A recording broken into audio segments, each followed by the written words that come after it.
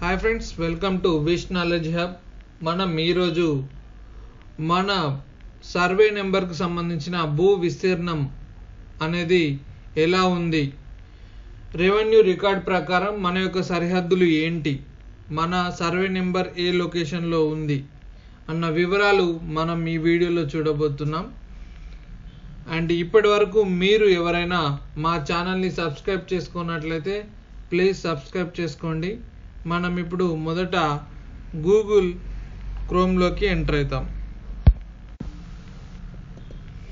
Enter కాగానే ఇక్కడ ధరణి అని ఎంట్రీ చేయండి.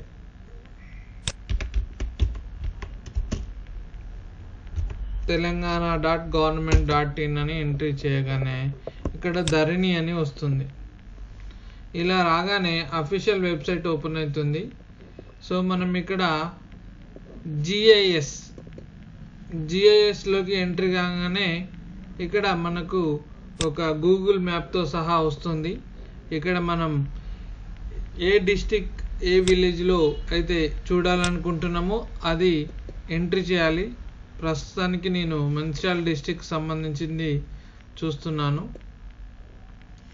డివిజన్ అట్లనే ఎవరైతే రెవెన్యూ డివిజన్ కూడా ఉంటుంది. దేని కిందకైతే వస్తుందో ఆ విలేజ్ ఆ రెవెన్యూ డివిజన్ అనేది ఎంచుకోండి. మండల్ తెలుసు మనకు. అండ్ ఏ గ్రామానికి సంబంధించింది అయితే చూడాలనుకుంటున్నామో ఆ గ్రామాన్ని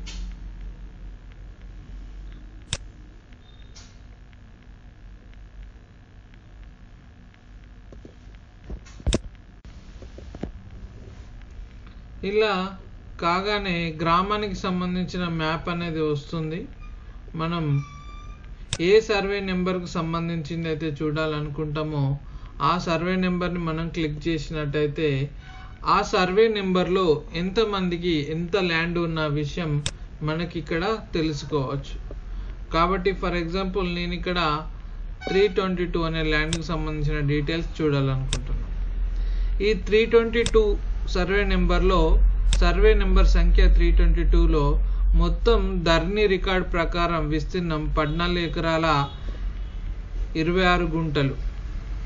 అది ఒక్కొక్కరికి ఏ విధంగా ఉంది అన్న డీటెయిల్స్ ఇక్కడ ఉంటాయి. పూర్తిగా మీరు ఈ సర్వే నెంబర్లో ఈ ఇరవై ఐదు గుంటలు ఎవరి పేరు మీద ఉన్నది అని మీరు చూడాలనుకుంటే ఇక్కడ ఐ సింబల్ పైన క్లిక్ చేసినట్టయితే మనకి ఈ విధంగా పాహని అని వస్తుంది.